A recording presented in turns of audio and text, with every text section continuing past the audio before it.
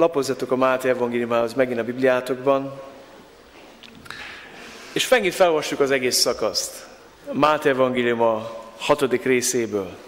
Vártam az ötödik éneket, mondtad, hogy öt ének lesz, és hirtelen jött most nekem, de hiszem, hogy az ének ez rávezet minket a mai igehirdetésre, amit énekeltünk itt legutóbb.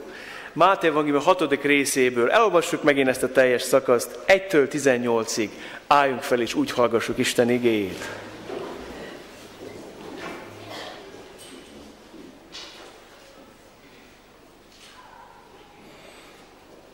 Nem árt ismételni az ígét, hadd mondjam nektek. Sőt, nem árt írni. Van egy barátkozó gyülekezetbe, aki azt mondta, hogy elkezdte az új szövetséget írni. Már nem az saját új szövetségét, elkezdte másolni a Bibliát, hogy jegyezze, hogy átjárja az íge. Hát most ismételünk. Máté 6.1. Vigyázzatok! Kegyességeteket ne az emberek előtt gyakoroljátok, hogy lássanak titeket, mert így nem kaptok jutalmat mennyi atyátoktól. Amikor tehát adományt adsz, ne kürtöltes magad előtt, ahogyan a képmutatók teszik a zsinagógákban és az utcákon, hogy dicsérjék őket az emberek. Bizony mondom nektek, megkapták jutalmukat. Te pedig, amikor adományt adsz, ne tudja a bal kezed, mit tesz a jobb, hogy adakozásod titokban történjék, a te atyád pedig, aki látja, ami titokban történik, megfizet neked nyilván. Amikor imádkoztok, ne legyetek olyanok, mint a képmutatók, akik szeretnek a zsinagógákban és az utcasarkokon megállva imádkozni, hogy lássák őket az emberek. Bizony mondom néktek, megkapták jutalmukat. Te pedig, amikor imádkozol, menj be a belső szobádba, és ajtódat bezárva imádkozzál atyádhoz titokban. Atyát pedig, aki látja, mi titokban teszed, megfizet neked nyilván. Amikor pedig imádkoztok, ne szaporítsátok a szót, mint a pogányok, akik azt gondolják, hogy bőbeszédűségükért hallgattatnak meg. Ne legyetek tehát hozzájuk hasonlók, mert tudja ti mennyi atyátok, mire van szükségetek, mielőtt még kérnétek tőle. Ti tehát így imádkozzatok, mondjuk együtt. Mi atyánk, aki a mennyekben vagy, szenteltessék meg a te neved, jöjjön el a te országod, legyen meg a te akaratod, amint a mennyben, úgy a földön is. Mindennapi kenyerünket add meg nékünk ma, és bocsáss meg védkeinket, miképpen mi is megbocsátunk az ellenünk védkezőknek. És ne vigy minket kísértésbe, de szabadíts meg a gonosztól, mert tiéd az ország, a hatalom és a dicsőség mind örökké. Amen mert az embereknek megbocsátjátok védkeiteket, nektek is megbocsát mennyi atyátok. Ha pedig nem bocsátotok meg az embereknek, atyátok sem bocsátja meg a ti védkeiteket. Amikor pedig bőjtöltök, ne nézzetek komoran, mint a képmutatók, akik eltorzítják arcukat, hogy lássák az emberek bőjtölésüket. Bizony mondom néktek, megkapták jutalmukat. Amikor pedig te bőjtölsz, kend meg a fejedet, és mosd meg az arcodat, hogy bőtölésedet ne az emberek lássák, hanem atyád, aki rejtve van, és atyád, aki látja, ami titokban történik, megfizet neked nyilván. Imádkozzunk. Uram, az a vágy van bennem, hogy eh, lépj elő az igéből, ahogy a te szádból származnak ezek a szavak, ezek az igék, és ahogy súlya és ereje és hatalma volt annak, hogy beszéltél ott és akkor a tanítványaiddal, úgy látogass meg minket ma délelőtt. És kérlek, Uram, hogy ébrezz bennünk szomjúságot és éjséget az imádságra.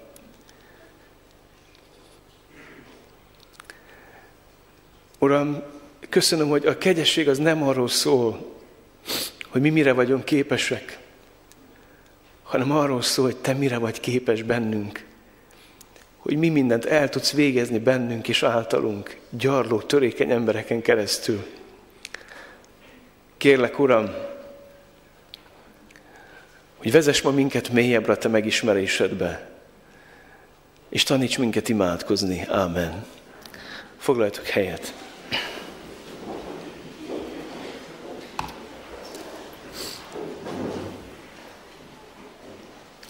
Hegyi beszédnek egy nagyon fontos része, amit olvastam ma, meg ma egy hete is. A hegyi beszéd az Isten országának, Isten királyságának a meghirdetése. A bűneset óta, az édenkerti kiüzetés óta ez a világ az ördög és a sötétség hatalmában van. És a teremtett világ alá van rekesztve a romlandóságnak. Azt mondja Pál, még mi magunk is, akik a lélek első zsengét kaptuk, vajodunk, sóhajtozunk és nyögünk ezzel a világgal együtt. Miért? Mert az világ alá van rekesztve a romlandóságnak, az elmúlásnak.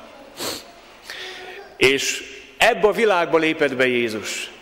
És ebbe a bűnnek a világába, a szenvedélyek világába, az elesettség világába, az elátkozott világba jött be az Isten fia. És ebbe a világba hirdette meg az Isten királyságát és országát. És azt hirdette, térjetek meg, mert elközelített hozzátok, eljött hozzátok az Isten országa. Ő benne jött el, meglátogatott minket az Isten. És meghirdette ezt az országot. És akik őt hallották, elkezdtek erre az országra szomjazni, elkezdtek az az ország után sóvárogni és éhezni. És a hegyi beszéd ennek az országnak a meghirdetése, ennek a királyságnak a meghirdetése, ami itt kezdődik el bennünk, köröttünk, ami elkezdődött azzal, hogy Jézus eljött és belépett a mi világunkba, és majd folytatódni fog az örök dicsőségben, amikor színről színre meglátjuk Istent a mennyországban az ő országában. És egyéb beszéd ennek a, hogy mondjam nektek, a királyságnak az alapokmánya. Azt is mondhatnám a, a mennyország alkotmánya. De jó lenne, ilyen lenne majd a magyar is. A mennyország alkotmánya. Azt mondja Isten Jézus által, ma nekem is neked, ismétlek, hogy a mennyország polgárai nyolcszorosan boldogok. És szeretném azt neked elmondani, hogyha megtért és újjászülettél, előbb vagy utóbb, ebből a nyolc boldogságból legalább egy, de lehet több, és lehet, hogy mind a nyolc meg fog jelenni az életedben. Boldog lesz azért, mert szomjazol az igazsággal és éhezel. Boldog leszel azért, mert szelid vagy, Boldog leszel azért, mert üldöznek az igazságért. Boldog leszel azért, mert sírtál, és Isten megvigasztal téged. Boldog leszel azért, mert tiszta a szíved, és látod az Istent azért, mert a tiszta szívek meglátják az Istent, mint Simeon és Anna. Olyan boldogságok költöznek az életedbe, amit addig nem tapasztaltál. Hadd kérdezzem most meg, tapasztalod ezeket a boldogságokat? Isten országának polgárai boldogok. Isten országának polgárai hatással vannak a világra só és világosságként. Megállítják a rothadást, és előzik a sötétséget. Isten országának a polgárai ezzel a tulajdonsággal rendelkeznek, hatnak. Megállítja a rothadást, ízt ad a világnak, és előz a sötétséget. Erre az életre hív bennünket Isten. Isten országának a polgárai egészen másképp értik Isten parancsolatait. Azt mondja János, hogy Isten parancsolatai nem nehezek, de miért? Azért, a számunkra parancsolat nem egy szabálygyűjtemény, ahol azt nézzük, hogy hogy lehetne a létminimumot teljesíteni. Hogy lehetne alulmúlni a parancsolatot. Meddig nem bűn a bűn, hanem az Isten országában a törvény, az az Istenről kapcsolatról szól. Törvényemet hova írom? A szívükbe, ideírom meg, ideírom. És nem tanítja több egyik a másikat, mert Istentől tanítottak lesznek. És onnantól kezdve nem azon fog agyalni a keresztény férfi, hogy meddig nem paráznaság a paráznaság, meddig nem csalom meg a feleségem. És nem fognak ilyen hülyeséget mondani keresztjének, amit hallottam keresztjének szájából, hogy hűségre tettem fogadalmat, de vakságra nem. Hanem a keresztény férfiak ki fogják takarítani a fejüket az Úr Jézus segítségével. Le fognak mondani a pornográfél és mindenféle szenvedéről és egyedül az Úrban és a feleségben fognak gyönyörködni. És nem azt fogják kérdezni, meddig nem bűn a bűn, és meddig nem és a házasságtörés, hanem valami teljesen meg fog bennük változni.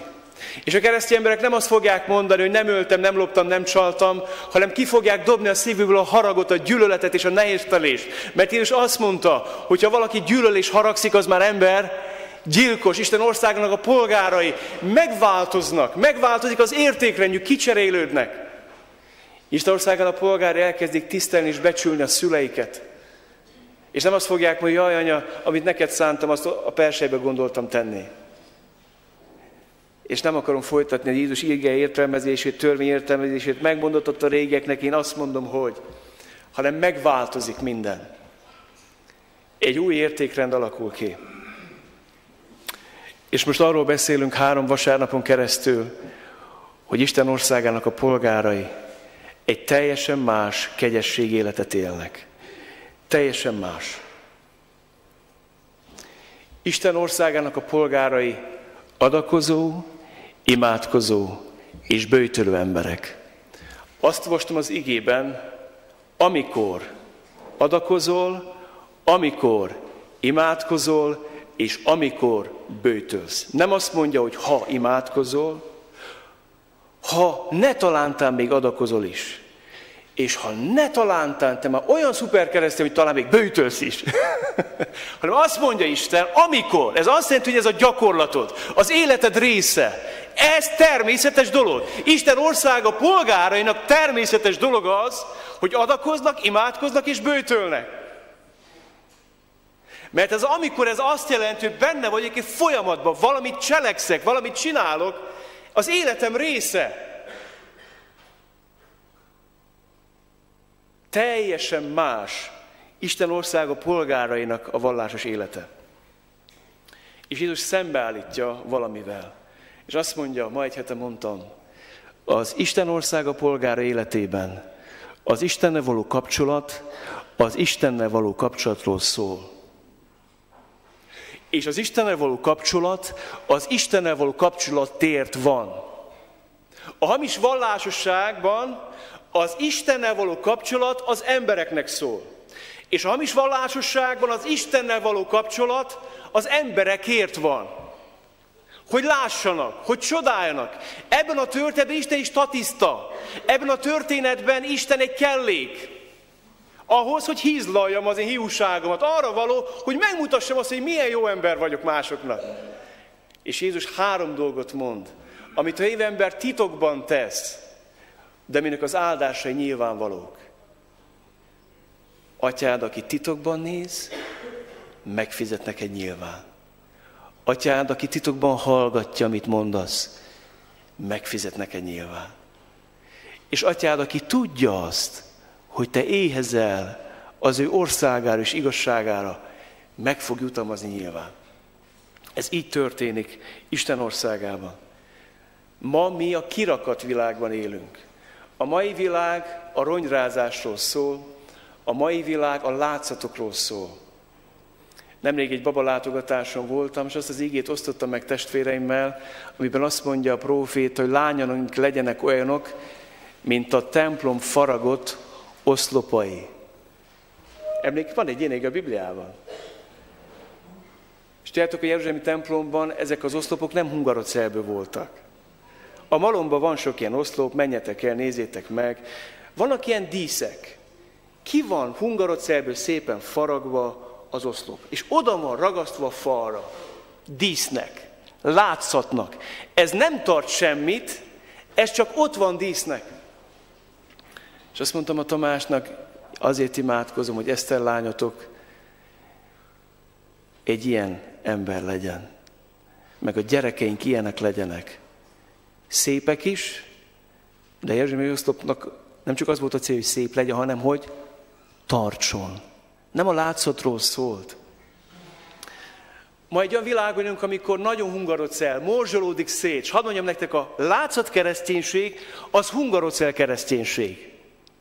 Nincs tartása, nincs ereje, a viharok idején szétmorzsolódik, tönkre megy, könnyen eltörik, könnyen elég, nem tudom, ismerős nektek ez a különleges anyag. Valamire jó szigetelni, de most nem erről beszélek, hanem arról, hogy lehet ilyen életet élni. Isten pedig nem erre hív. Isten egy elrejtett, de szentlélekkel teljes életre hív, ami teljesen másképp néz ki. Nem kirakatról. Ma egy hete arról beszéltünk, hogy hívember számára a jótékonyság és az adakozás az titokban történik. És egy új szemléletmódot táplálkozik, az pedig az, fiam, te mindenkor velem vagy, és mindenem a tied. Ezt mondta az atya a tékozó fiú bátyjának. Az öcskös azt mondta, nem, add ki, csak az enyém lesz, csak nekem kell. Mint azok a gyerekek, akik veszekednek, civakodnak. Nem, ez az én játékom, semmi között nincs hozzá. Ezt mondta Ádám az édenkertbe, csak nekem kell. Hús, semmi között nincs hozzá Isten. Ez az enyém. Kisajátítottam, az enyém. Feleségem, gyerekem, autóm, házam, pénzem, fizetésem, az enyém. Csak az enyém. Tényleg? Majd hát azt tanultuk, mikor hazajött a tékozó fiú, úgyból megtanult azt, hogy mit jelent gazdagnak lenni. Mit jelent az, hogy ami az atyái, az az enyém. És a hívember adakozás, ez erről szól. Nem arról szól, hogy ez enyém, hanem arról, hogy miénk atyám. És megbeszélem veled, hogy minek hol van a helye. Kinek mire van szüksége. És ezt úgy fogom osztani, szorozni, tenni, venni, hogy abban te gyönyörködj. És kétfajta adakozású tud a Biblia, az egyik az, amikor Istennek adakozok, amiben kifejezem azt, hogy tőle függök, ő az első az életemben, és nem a pénzem tart el, hanem Isten. A másik fajta adakozás pedig az, amikor kifejezem azt, hogy vannak körülöttem szükségben élő emberek, akiket rám bízott Isten. Nem a világ összeséhez őét. Néhányat, de azt rád bízta. És akkor nem ilyeket fogunk énekelni. Múltkor hallgattam a Youtube-on egy aranyos emberkét, hát hadd nem mondjam a nevét, nem akarok visszaélni ezzel, de arról énekelt, hogy mikor jön a karácsony, mennyi az a kis faludba, ahol szól a harang, és olyan romantikus, olyan könnyes ének volt, meg lehet könnyezni, én is majdnem elkezdtem sírni, és a végén úgy, úgy végig is visszatartottam a könnyeimet, mert hazudott az énekíró. Azt mondja, hogy üljél le karácsony szentestén, gyújts egy gyertyát, és mondj egy imát a szegényekért. És elképzeltem ezt a testvért, azóta már szegény nem él, ahogy odahaza törik szét az asztal lába a kaja alatt karácsony este, és ül, egy pohár bor, még egy pohár bor, egy pohár sör. És akkor gyújt egy gyertyát a szegények, és azt mondja, hogy Uram, hát a szegényeken is segítsél már, csinálj velük valamit. Lehet, hogy Isten azt mondja, hogy takarítsd az asztalot felét, és vidd el a szomszédba, nem? Nem? Ez lenne a helyes, nem, hogy gyújts egy gyertyát. Értitek? Tehát ez, ez valami észbontó, ez, ez a sötétség hogy iszonyatos társadalmi szakadékok vannak a mai világban, és mi gyújtogatjuk a szertját a szegényeké. Értitek? És azt mondjuk, hogy megoldottuk. Mondtunk mi is egy imát karácsony tiszteletére. Nem. Látom a szükséget, és a lehetőségem és képességeim szerint, amit Istentől kaptam, igyekszem ezt betölteni. Akkor most megyek tovább. Hú, hát eddig csak az ismétlés volt. Akkor most jön az imádságról szóló tanítás. Nem az egész Biblia alapján, ma csak a titkos, a magányos imáról szeretnék nektek szólni. Kezdem a negatívval, hogy pozitívan fejezem be. Először arról beszélek nektek, hogy hogyan nem lehet imádkozni, és hogyan nem szabad. Azt mondja Jézus, amikor imádkoztok, ne legyetek olyanok, mint a képmutatók, akik szeretnek a zsinagógában és az utcasarkon megállva imádkozni, hogy lássák őket az emberek. Bizony mondom nektek, megkapták jutalmukat. Ahogyan nem lehet imádkozni. Az imádság az nem az embereknek szól, hanem Istennek szól. És az imádság az Istennel való kapcsolatomról szól. Hadd mondjam nektek, a magány és a titkozatos imádság nélkül nem létezik semmiféle más ima élet. Semmiféle más ima élet nem létezik. Ezért nagyon érdekes, amit Jézus elmond a farizeusról, hogy fölment a templomba. Az első dolog az volt, hogy szétnézett. Kik vannak a templomban? Aha, ott van a vámszedő. Laci, nem rád gondoltam. Uh, ja, van valaki. Jaj, de jó. Ha, ha milyen jó hogy van itt egy vastagon bűnös ember. Hát hozzá képest én most már nagyon jó vagyok. Uram, hálát adok neked, hogy nem vagyok olyan, mint ez a vámszedő. Tudod, uram, én bőtölök hetente kétszer, ez is hálás vagyok. Meg szoktam adakozni, meg annyi mindent szoktam, uram, jó, hálás vagyok. Uram,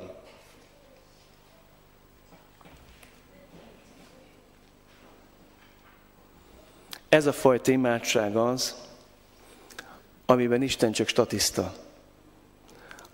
Isten csak arra kell nekem, hogy megmutassam másnak, hogy én milyen vallásos vagyok. Az európai kereszténység azért tart ott, ahol tart, mert az európai kereszténységnek hiányzik a titkos kamrája. Vagy már nincs és nem létezik, vagy ha van és elmegy a templom, ez csak azért csinál, hogy forgassa szemét.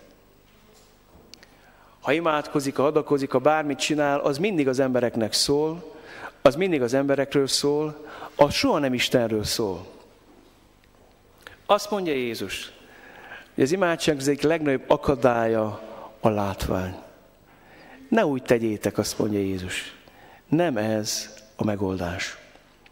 Megyek tovább, és ami másik, amiről beszél, és ahogy nem szabad az imád gyakorolni, ezt úgy hívom, hogy keresztény mantrázás.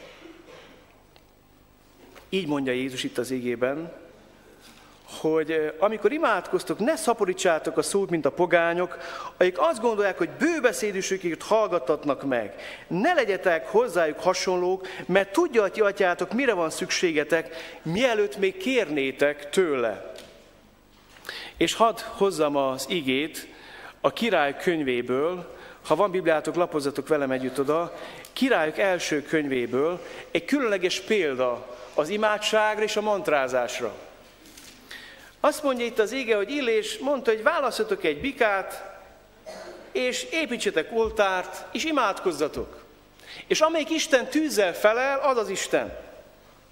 Ők fogták a nekik jutott bikát, egy királyuk 18-28, és elkészítették. És így hívták segítségül a Baál nevét reggeltől délig. Ó Baál, felej nekünk! Hát én a reggelt nem tudom hánytól kell számolni, hattól, mondjuk hattól. De mondjuk, hogy ők kényelmesebbek voltak, nem hatkor kezdték, elkezdték nyolckor. És akkor négy órán át mi volt az ima? Baá, felej nekünk!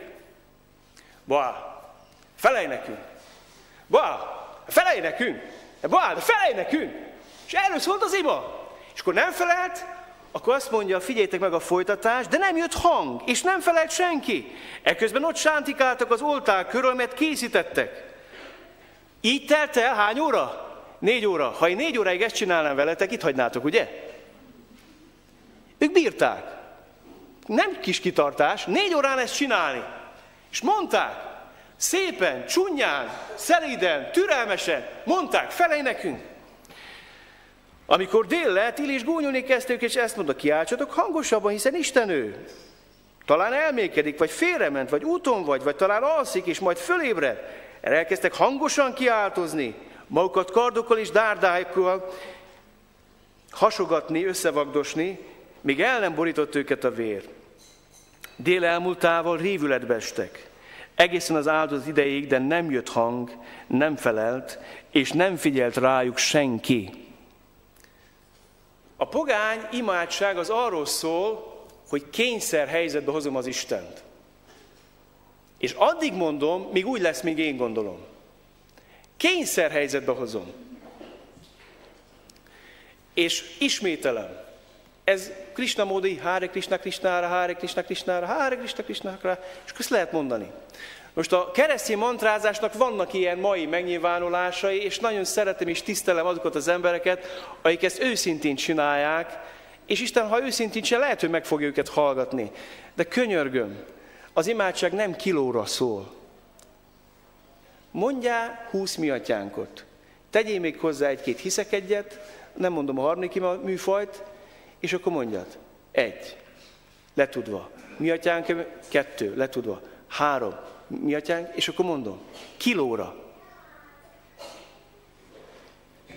Na most értsetek jól, Isten ezt is meghallgathatja, hogyha szívből, ha szívből jön. De hadd mondjam nektek, hogy Isten nem azért hallgat meg, mert mindig ismételjük ugyanazt. És Jézus erre mondta, hogy ne legyetek bőbeszédőek. Hogy azt hiszitek, hogy Istennek agymosásra van szüksége. Hanem nézzétek meg a folytatást ennek a történetnek. Az áldozat bemutatása idején odalépett Illés prófét, és ezt mondta. Uram, Ábrámnak, Izsáknak és Izraelnek Istene. Hadd tudják meg a mai napon, hogy Te vagy az Isten Izraelben. Én pedig a Te szolgád vagyok, és mindezt a Te parancsodra tettem. Kedveseim, Illés azért imádkozik itt nyilvánosan, mert imádkozott a titkos kamrájába. Ez onnan derül ki, hogy én mindezt a Te parancsodra tettem. Élésnek van egy titka, kapcsolata van Istennel. Élő, személyes, közvetlen kapcsolat. Ha tudják meg, hogy Te vagy az Úr az Isten, én a Te szolgád vagyok, és mindezt mi már megbeszéltük, Uram. Én a Te szabadra tettem ezt. És csak ezután mondja, hogy felej nekem, Uram. Felej nekem. Hadd tudja meg az a nép, hogy Te vagy az Úr az Isten, és Te fordítsd vissza szívüket.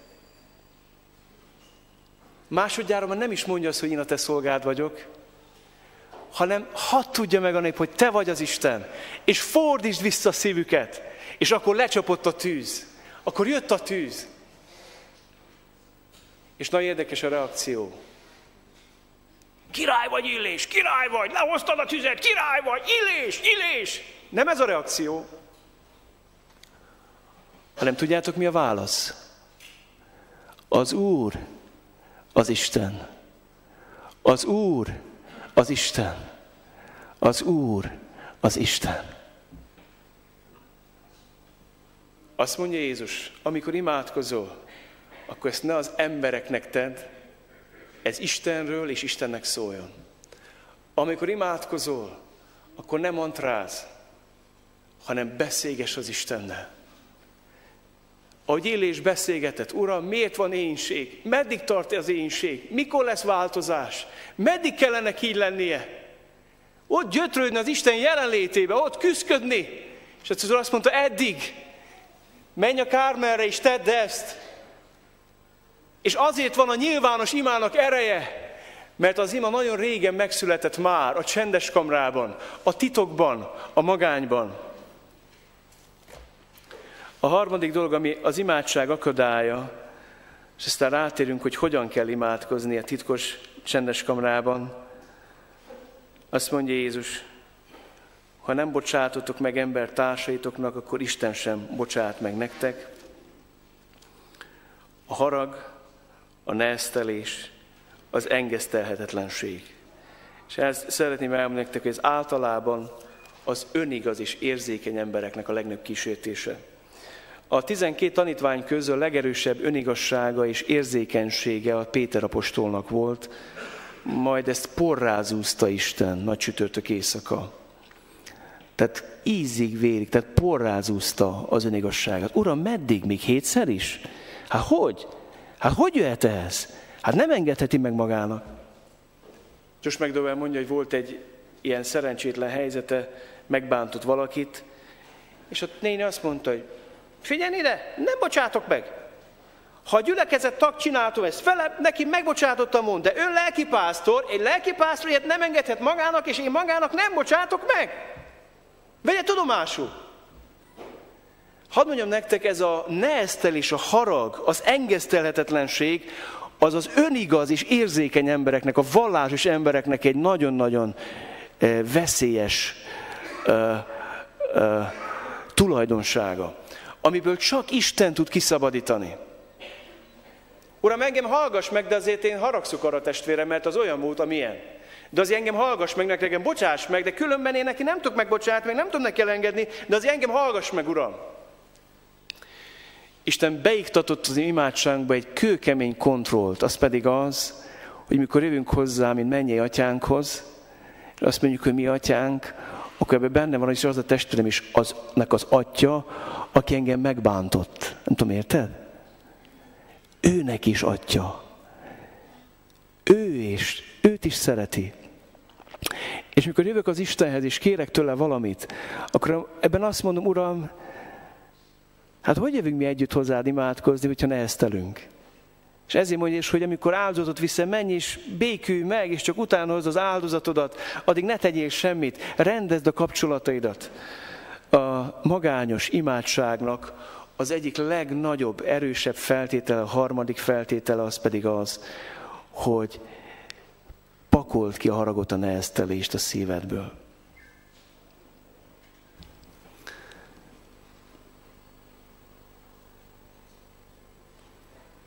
Egyik este így pihentem le. Értésére is adtam a feleségemnek. Aztán lementem a konyhába, aztán elővettem az aznapi ígét. Akkora leleplezés volt, de akkora, hogy nagyon nagy. És mondtam, Uram, én úgy szégyellem magam, hogy lehetek ilyen vak? Hogy lehetek ilyen kemény? Hogy lehetek ilyen engesztelhetetlen? Ilyen pici dolgokból ügyet csinálni? Bocsáss meg, Uram. És utána jó tudtam aludni. Pakolt ki a szívedből. És akkor most szóljunk arról, hogy hogyan imádkozzunk. Azt mondja Jézus, amikor imádkoztok, te pedig, amikor imádkozol, menj be a belső szobádba, és ajtódat bezárva imádkozzál atyádhoz titokban. Atyát pedig, aki látja, amit titokban teszel, megfizet neked nyilván. Az első, amit mond Jézus, az az, hogy az imádság az Istennel való kapcsolatunknak a szentélye. A szentek szentje az a hely, ahol találkozik a menny a földdel. Az a hely, és úgy vágyom arra, hogy ma az Isten szent leke éjséget támaszson mindannyiunkban, hogy mikor vége vannak az Isten tiszteletnek, adlig várt, alig várt, hogy legyen időd kettesben lenni Istennel. Ez egy szenté. És engedjétek meg, hogy hozzak három bibliai példát nektek erre. Dániel próféta elkerül fiatal emberként, fiúként Babilonba. És több királyt túlélő, Nabukodozott, Belsazárt, aztán jön a harmadik király, Dárius. És írják és féltékenyek Dánielre a kollégák, és kitalálják azt, hogy hogy lehetne Dániel csőbe húzni. Hát ő Istent imádja minden nap. Háromszor. Háromszor keres Istent a magányában, titokban. Ott van együtt az Istennel. És Dániel, neki olyan fontos ez a belső kamra, ez a csendes kamra, hogy inkább vál az oroszlánok vermét, de az Istennel való kapcsolatának a szentélyéről, a szentek szentjéről, ennek a kapcsolatnak az intimitásáról ő nem tud és nem akar lemondani. Ez az ige egy nagyon-nagyon komoly ige, és hát úgy nagyon megszégyeltem magam. Ő vállalja úgy, hogy tudja, hogy kilesik vállalj, tudja azt, hogy ennek az a következmény, hogy bekerült az oroszlának vermébe. Kedves, mekkora árat vagy kész fizetni azért, hogy Istennek kettesben légy?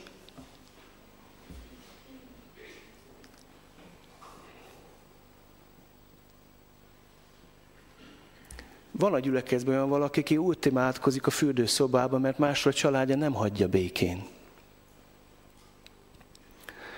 Nekem az Isten adott egy kellemes fűtött irodát nem kell lemenjek egy nyírkos pincébe, mint az egyik barátom, hívő szülők gyereke. Amikor megtért ez a két fiú már németibe, akkor elkezdték éhezni az Isten szavát. Azt mondták a szülők, hogy hát nem kell ilyen fanatikusnak lenni, nem másról se tudtok csak a Bibliáról. Mit kell annyit a Bibliával? Kell egy kicsit szórakozni, ezt, azt. Hát mit kell annyit a Bibliával foglalkozni?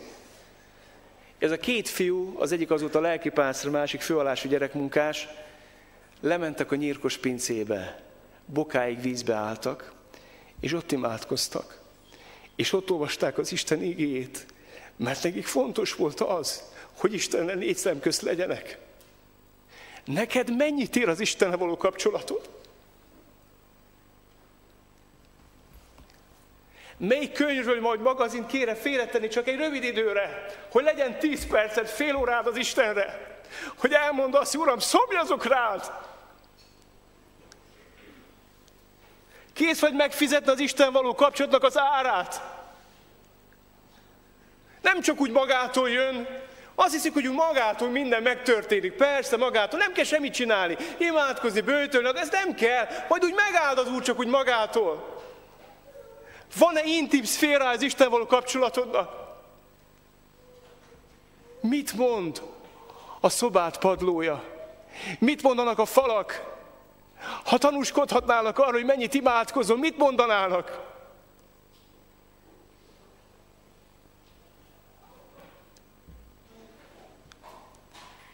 Dániel azt mondta, inkább az oroszlán verem, de az Istenvel kapcsolatomat nem fogja senki elvenni tőlem. Ma mi kényelmes fűtött lakásokban, mindenféle körülmények között nincs időnk és lehetőségünk félretenni az időnket az Isten számára.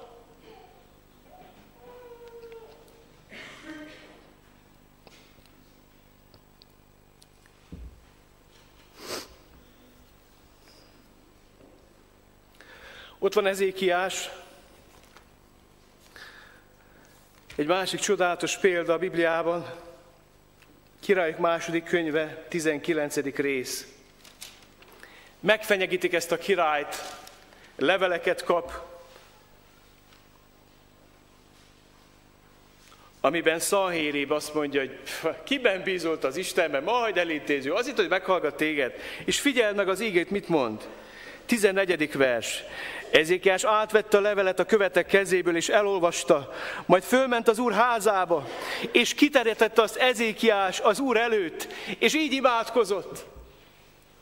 Uram, Izrael Isten, aki a kírubokon ülsz, egyedül Te vagy a föld minden országának Istene, Te alkottad a mennyet és a földet, Uram, hajtsd hozzám füledet, és hallgass meg, Uram, nyisd ki szemedet és láss, halld meg Szanhéri beszédét, aki ide küldte ezt az embert, hogy gyaláz az élő Istent.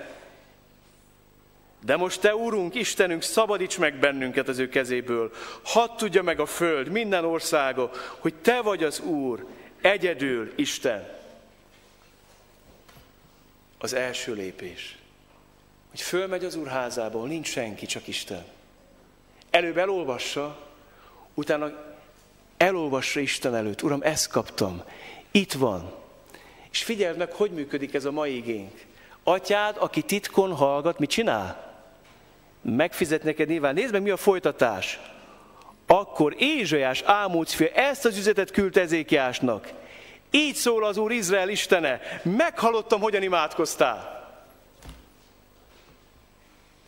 Nem furcsa nektek, hogy nem Ézsajáshoz szaladt Ezékiás? Gyere Ezékiás, imádkozunk! Ézsajás, imádkozunk már együtt! Nem! Neki van egy titkos kamra az Istennel, ott kér valamit, és Isten válaszol Ézsajásnak, és azt mondja, figyelj, szólt hozzám az Úr. Isten meghallgott az imádat. Kedveseim, nagyon jó az, hogy mi szoktunk együtt imádkozni, félre ne értés ne essék. Jó, hogyha ezékes meg Ézsás együtt tud imádkozni, ez nagyon kell, meg nagyon fontos, de ad mondjam nektek, a csendes kamrát ez nem pótolja. Ezékiás egyedül kereste az urat, és kijelentette Isten Ézsásnak, hogy figyelj, nagy bajban a királyom. Menj és mondd meg neki, hogy széltévesz minden fegyver. Ahogy jön, úgy fog elmenni. Bízon az Istenben. Menj és mondd meg neki. Meghallott Isten a te imádat. És ezékes titokban kereste az Urat, a válasz pedig nyilvánvaló volt. Meghallottam, ahogyan imádkoztál. Megyek tovább, so következő példa, Nehémiás. Hadd mondjam nektek, hogy a csendes kamra az nem mindig földrajzi hely. Legtöbb esetben az, de nem mindig. Akinek van csendes kamrája földrajzilag, annak lesz előbb-utóbb csendes kamrája itt. És ezt a Neémiás könyvéből értettem meg, hogy ez hogy működik. Nagyon érdekes olvasni az ő könyvét. Nézzétek meg, mit mond a Biblia. Első rész harmadik versétől. Elmondták nekem, hogy megmaradtak, akik megmaradtak a fogság után, nagy bajban és gyalázatban vannak, ott abban a tartományban Jeruzsálem várfala csupa rés, és kapui tűzben égtek meg. Amikor meghallottam ezeket, napokon át ültem, sírtam, gyászoltam, bőtöltem, és imádkoztam hol? A menny Istene előtt. És ezt mondtam, most nem olvasom fel az imát, de ezt tette Ezékiás, hogy négy szem közt Istennel. Ez a földrajzi csendes kamra. Az Úr előtt tettem ezt. Majd később figyeld meg, hogy hogy válik ez belsővé. Egyik nap második részben azt olvassuk, hogy azt kérde a király, miért szomorú az arcod, hiszen nem vagy beteg. Nem lehet ez más, csak a szív szomorúsága. Ekkor én nagyon megijedtem, és ezt mondtam a királynak. Örökén a király, hogy ne volna szomorú az arcom, hiszen az a város, ahol őseim sírja van, rommá lett, és kapui tűzemésztette meg. Akkor a király ezt kérdezte tőlem, mit kívánsz tehát? Én pedig mit csináltam? Imádkoztam a menny Istenéhez. Tudjátok, hogy sokszor miért nincs ez a kamera itt nekünk, mikor találkozunk királyokkal, feljebb valókkal, hatalmakkal. Arról van szó, hogy ezért Nehimest el lehetett csapni a munkába, azért mert szomorúan vitte be a, a, pohárt, a pohárnak a, az italt a királynak. És, és a király azt mondja, hogy miért vagy szomorú? Biztos, hogy nem vagy beteg, ez valami másfajta szomorúság. És ő megijedt, hogy hó, észrevették rajtam azt, hogy keserű vagyok. És akkor a király megkérdezte, hogy mit kívánsz, akkor én magamban elkezdtem imádkozni. Nem tudom, figyeled, hogy hogyan válik a csendes kamera földrajzi helyből egy elrejtett életté az Istennel. Hogy miközben beszélget Neimiás egy királlyal, közben ő a szívében Istennel kapcsolatban van. És érdekesen zajlik a beszélgetés errefele és fölfele. És a kettő együtt működik. Tudjátok, mekkora szükség van erre a lelki gondozásra, amikor emberek bajait, nyomorúságát hallgatjuk. Amikor jönnek az emberek, borítja őket el a baj és a nyomorúság, akkor hallgatni őket, de hallgatni őt. És közben könyörögni, de ez csak akkor működik, ha ezt megelőzte csendes kamra. A fölrajzi belső szobából lett valami más. Menj be a te belső szobádba, és mit csinálj? Zárd be az ajtót. Zárd be a dolgokat, és zárd ki a dolgokat. És lehet, hogy furcsa, amit mondok nektek, van olyan időszak, amikor a férek egyedül kell legyenek. És van időszak, amikor a feleségek egyedül kell legyenek az Istennel. Az életünk legnagyobb fordulat és döntései magányunkban születnek. Nem a tömegben. A legnagyobb döntéseink itt is lehetsz egyedül kettesbe az Istennel. Most, míg hallgatod az ígét, és szól hozzád, és beszél veled az Isten. Szükség van erre. És ezt tiszteletbe kell tartani. Kedves feleségek, nem elég, hogy a férjetek imádkozik, értetek. Nektek is imádkozni kell. Kedves férek, nem elég, hogy a feleségetek imádkozik a gyermekekért. Nektek is imádkozni kell. És kedves gyerekek, hadd mondjam azt nektek, hogy megvan a hely és az ideje a témátságotoknak, amit egyedül köztetek és Isten között zajlik. Az a két főkörül beszéltem nektek, az nem volt több, kevesebb volt, mint 15 éves, akik a pincébe mentek lémátkozni, keresni az Istent, szomjazni az Istent, és Isten megáldotta őket. Hadd beszéljek arról, aki ezt az igét mondta és tanította, Jézus. Az ő csendes kamrája azért volt a hegy, mert a rókáknak volt barlangjuk, az égi madaraknak fészkük, de az ember fiának nem volt hova a fejét lehajtani. Ugye? Neki nem volt háza, nem volt lelkipásztor irodája, nem. De volt hegy, ahol félre lehetett vonulni ahol egész éjszakákat át lehetett beszélni az atyával. És úgy beszélgetett Istennel Jézus ott a hegyen, mint egy kisfiú az apukájával. Azzal a bensőséggel, azzal a meghittséggel, azzal a közelséggel, ami csak egy apa és a fia között lehet. Így kereste ő Istent. És a mi mai lettünk kulcsa az, hogy Isten, mi mennyi édesatyánk. Ami mennyi édesatyánk, aki meghallgat bennünket, aki törődik velünk, és keressük őt, és ott vagyunk közel hozzá. Jézus így ment a hegyre. Az Isten fia beszélgetni. És olyan érdekes látni, hogy a csendes kamrának van egy nagyon érdekes, legmegrendítőbb formája Jézus életében. Imádkozott Jézus, amikor kire akarták kenni. Imádkozott Jézus, amikor tervezte a másnapját. Imádkozott Jézus, amikor a tanítványokat kiválasztotta. És azt mondja a Biblia, hogy imádkozott Jézus, amikor készült meghalni értünk. Figyeljétek meg a Gecsemáni kertet, hogy egy nagyon érdekes folyamat zajlik. Mennek föl az olajfák hegyére Jézus. És figyeld meg, hogy szűkül a nyilvánosság. Mennek tizenegyen, mert Judás már nincs köztük.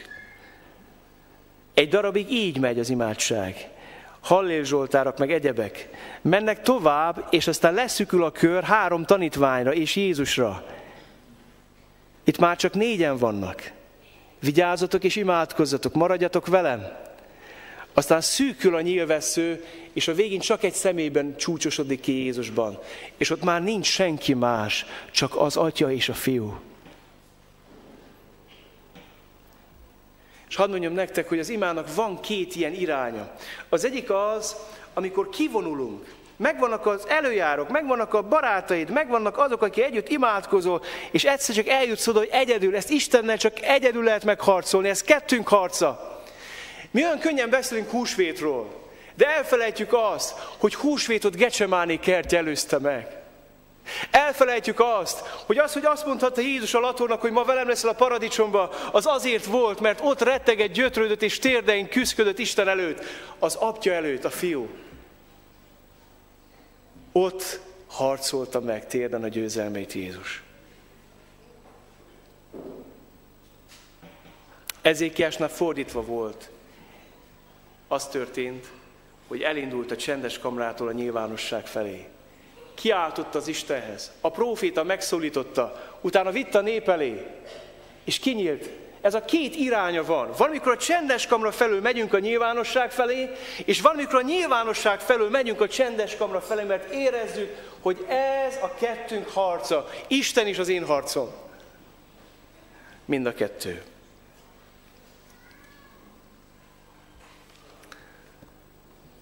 A mi atyánkról nem fog most tanítani. Arról Cseri Kálmán általában egy hetet szokott beszélni. Csak annyit szeretnék elmondani a mi atyán kapcsán, hogy a másik módja az imádkozásnak az első az, hogy titokban kettesbe Istennel, a mi atyánk pedig arról beszél, hogy sóvárgok, és szomjazom az Isten országa után. Mi atyánk, aki a mennyekben vagy, szenteltessék meg a te neved. Jöjjön el a te országod. Legyen meg a te akaratod. Kedveseim, az a bajunk, hogy a mi imiátyánkunk csonka. A mi imiátyánkunk ott kezdődik, hogy a mi mindennapi kenyerünket ad meg nékünk ba. És bocsáss meg a mi bűneinket, és ne vigy minket kísértésbe, és levágtuk a végét, meg levágtuk az elejét. Mert az imáink nagy része arról szól, hogy Uram, de add meg, add meg. De de az Úr azt mondja, figyelj, Emlékeztek, mivel kezdtem az Isten tiszteletet? Tegnap egy alkoholistával beszélgettem, aki volt 15 évig alkoholista. Négy éve megtért. Elvesztette feleségét, gyerekét, mindenét. És azt mondta nekem, hogy miután megtértem, és elkezdtem Istenre szomjazni teljes szívémből, és azt mondtam, Uram, a te lényed fontosabb az alkoholnál. Mindennél fontosabb. Könyörülj rajtam. Uram, a te akaratod legyen meg az életembe. Uram, változtass meg, tisztíts meg, szabadíts meg. Könyörülj rajtam. Tudjátok, mi történt? Meg lett az Isten akarat a feleség és a gyerek életében is. Tegnap arról beszélt az ember örömkönnyekkel, hogy nem sokára merítkezik be a feleség és a fia. És megtért már a, a lánya is, pontosabban fordítva. Értitek? ha nem lenne csonka mi atyánkunk, ha azzal kezdenénk a mi atyánkot, Uram, mi, ami fontos neked? Mik a te céljaid, mik a te terveid, mit akarsz te, Uram? Akkor higgyétek, hogy a ráadás is megadatna. Keresétek először, mit? Isten országát. De keresétek, és a többit Isten hogy adja meg? Ráadásként. Mi problémánk az, hogy minket csak a ráadás érdekel, de nem az Isten akarata. Mit akarsz, Uram? Jöjjön el a te országod, legyen meg a te akaratod. Ebben az van, hogy Istenem, fontos vagy nekem. És az ima közepe arról beszél, hogy Uram, köszönöm, hogy én is fontos vagyok neked. A kenyérgondjaim, a kísértéseim, a bűneim fontosak neked. Könyörű rajtam.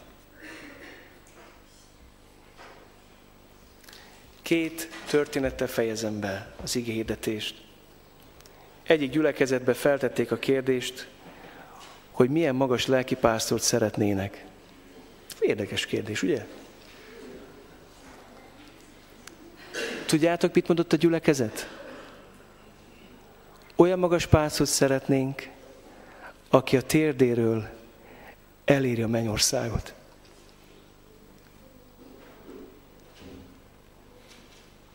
Amikor olvastam ezt a könyvet,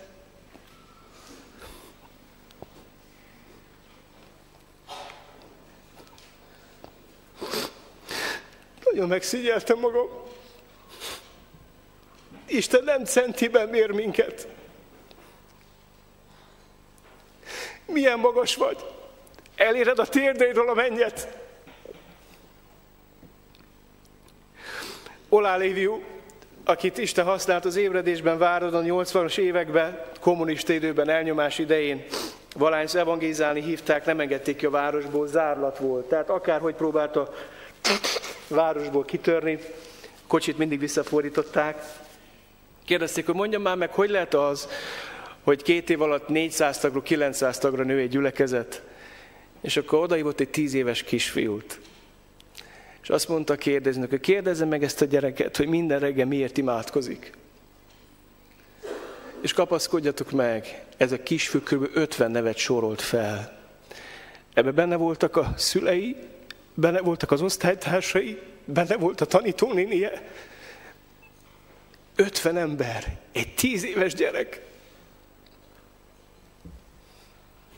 És azt mondta a pásztor, tudja, Körülbelül száz ilyen gyerek van a gyülekezetünkben, és a felnőttekről még nem beszéltem.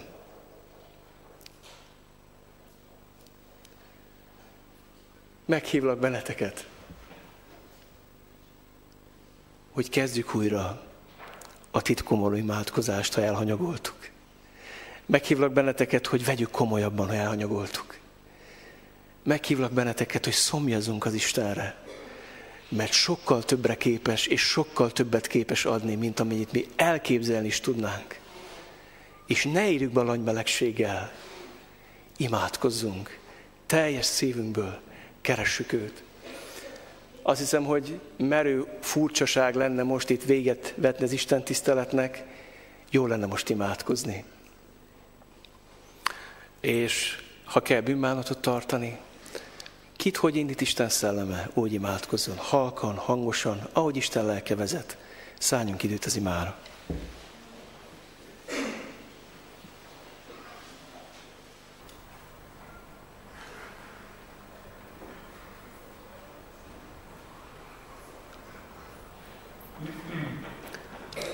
Talán nehéz most megszólalni mindannyiunknak, de olyan jó azt, hogy az Úr hallja a szívünket.